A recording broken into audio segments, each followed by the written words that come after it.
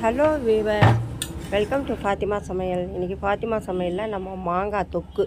அது எப்படி பண்ணலாம் அப்படின்னு பார்க்கலாம். இது ரொம்ப ஈஸியாக பண்ணுறது இது வந்து கட் மாங்காய்க்காக கட் மாங்காய் ஊறுகாய்க்காக நான் கட் பண்ணி வெயிலில் வச்சு காய வச்சுட்டு உப்பு போட்டு வச்சுருக்கேன். இப்போ இது வந்து நான் தொக்கு செய்ய போகிறேன் ஒரு மாங்காய் இந்த மாதிரி உருண்டை மாங்காய் தான் தொக்கு செய்யறதுக்கு ரொம்ப நல்லாயிருக்கும் இப்போ அதில் நம்ம வந்து அந்த காம்பு பகுதியை நீக்கிட்டு இப்போ நம்ம அதை கட் பண்ணிக்கலாம்.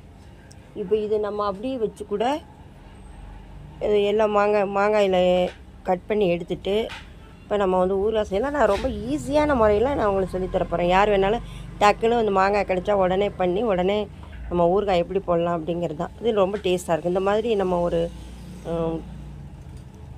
சீவியும் போடலாம். சீவுறது துருவுறது நம்மளால் இந்த மாதிரி கட்டர்லையும் வச்சு நம்ம பண்ணலாம். ஆனால் பட் அது நம்ம வந்து ரொம்ப சிரமமாக இருக்கும் நம்ம கொஞ்சம் ஈஸியாக செய்யலாமே. அப்படிங்கிறதுக்காக நான் இப்போ இந்த மாங்காய் எல்லாத்தையும் சின்ன சின்ன பீஸாக கட் பண்ணிக்கிறேன். கட் பண்ணிவிட்டு அதை நம்ம அந்த சாப்பரில் ஆனியன்லாம் சாப்பர் பண்ணுவோம். அந்த சாப்பரில் போட்டு நான் கொஞ்சம் இது பண்ணிக்கலாம் அப்படின்னு சொல்லி சாப்பர் போடுறேன். பாருங்கள் இது ரொம்ப ஈஸியாகவும் இருக்குது நமக்கு. ரொம்ப நம்ம கை துருவிட்டு இருக்கணுங்கிற அவசியம் கிடையாது. இப்போ பாருங்கள் இது வந்து நம்ம ஈஸி ரொம்ப ஈஸி இந்த ஊறுகாய் செய்கிறது ஈஸி தான். இது வரைக்கும் என்னோட சேனலை சப்ஸ்கிரைப் பண்ணாமல் இருந்தால் சப்ஸ்கிரைப் பண்ணி வச்சுக்கோங்க. இப்போ வந்து நம்ம இதை நல்லா துருவியாச்சு. அந்த சாப்பரில் போட்டு நல்லா பாருங்கள் எப்படி இருக்குது இந்த மாதிரி இருந்தாலே நமக்கு போதும். இந்த சாப்பரை விட இன்னும் சின்ன சாப்பரில் வந்து இன்னும் நல்லாவே நைஸாகவே அது கட் ஆகும். இப்போ பாருங்கள் துருவின மாதிரி ஆயிடுச்சு. இப்போ இதை தான் நம்ம வந்து பண்ண போகிறோம் இப்போ உப்பு. இது நான் கல் உப்பை நல்லா மிக்சியில் போட்டு அரைச்சி தான் எடுத்து வச்சுருக்கேன். அது அந்த மாங்காய்க்கும் போட்டுட்டு கட் மாங்காவுக்கும் போட்டுட்டு இதுக்கும் வச்சு கொஞ்சம் போட்டிருக்கேன். இது பத்தலைன்னா நம்ம இன்னும் கொஞ்சம் டேபிள் சால்ட் சேர்த்துக்கலான்னு. இப்போ பாருங்கள் இப்போ வெயிலில் வச்சு மேலே ஒரு துணியை போட்டு இறுக்கி ஒட்டிட்டு வெயிலில் வச்சு காய வச்சு எடுத்தாச்சு ரெண்டு நாள். இப்போ அது நல்லா காஞ்சிருச்சு. அதை எடுத்து ஒரு பாத்திரத்தில் நம்ம வேறு பாத்திரத்தில் போட்டுக்கலாம்.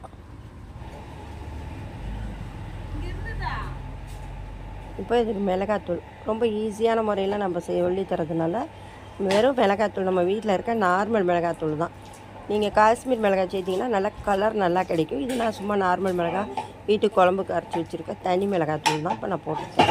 இப்போ ரெண்டு ஸ்பூன் போட்டிருக்கேன். அப்புறம் பத்தலைன்னா நம்ம டேஸ்ட் பார்த்துட்டு நமக்கு இது உப்பு காரமும் அப்புறமாவும் சேர்த்துக்கலாம். கொஞ்சம் நல்லெண்ணெய் ஒரு ஐம்பது மில்லி நல்லெண்ணெய் ஊற்றிருக்கேன் அதில் கொஞ்சம் கடுகு ரெண்டு ஸ்பூன் கடுகு ஒரு ஸ்பூன் பெருங்காயத்தூள் பெருங்காயத்தூள் இது வந்து வேறு பிராண்டு வந்து இந்த பிராண்டு வந்து அவ்வளோவா வாசனை இல்லை. அதனால நான் கொஞ்சம் கூடவே போடுறேன். ஒரு ஸ்பூனுக்கு போடுறேன்.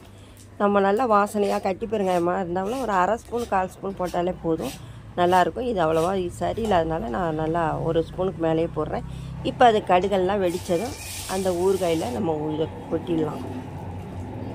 அவ்வளோதான் பாருங்கள் எவ்வளோ ப்ராசஸ் பாருங்கள் எவ்வளோ சீக்கிரமாக எப்படி ஒரு யார் வேணாலும் போகலாம். இப்போ பார்த்தேன் டேஸ்ட்டு ஆனால் வந்து காரம் பத்தாத மாதிரி இருக்குது அதனால் நான் இன்னும் ஒரு ஒன்றரை ஸ்பூன் சேர்க்குறேன். மிளகாத்தூள் நமக்கு தேவையான அளவு தே சேர்த்துக்கலாம். எண்ணெய் கூட பத்தலைன்னா கூட பச்சை எண்ணெயும் கூட விட்டுக்கலாம். ஒன்றும் தப்பு இல்லை. இப்போ உப்புத்தூளும் சேர்த்துக்கலாம். எது நம்ம இப்போ டேஸ்ட் பார்த்துட்டு டேஸ்ட் உப்பு காரம் எண்ணெய் இது எல்லாமே நான் வந்து இந்த லெவலில் கூட நம்ம சேர்த்துக்கலாம். இது வந்து நான் ட்ரெடிஷ்னலாக பண்ணியிருக்கேன். அந்த அந்த காலத்தில் இந்த வினிகர்லாம் சேர்க்காம செய்வாங்க. அது மாதிரி வினிகர்லாம் சேர்க்காம இது நான் பண்ணியிருக்கேன். நீங்கள் இது அப்படியே நம்ம வெயிலில் அப்பப்போ எடுத்து வச்சுட்டா கூட ஒன் ஒன்று ஒரு வருஷத்துக்கு கூட அப்படியே கெடவே கெடாது. ரொம்ப டேஸ்டியாக இருக்கும். தயிர் சாதம் சாம்பார் சாதம்.